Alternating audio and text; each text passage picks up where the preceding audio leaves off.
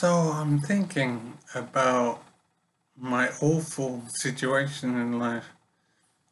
And the particular thing I'm thinking about now is how I can't help my children. I can't be useful for my children in life because I can't pass on to them experience from my own life because I've lost my memory entirely. So I can't advise them and help them understand things when I've forgotten everything.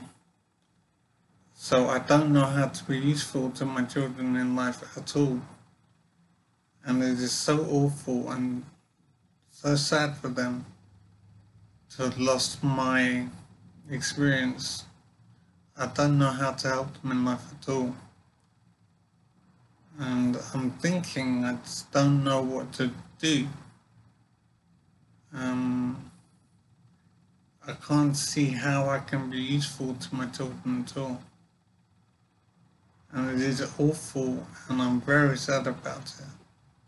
I just can't see a way to help them at all. It is really awful.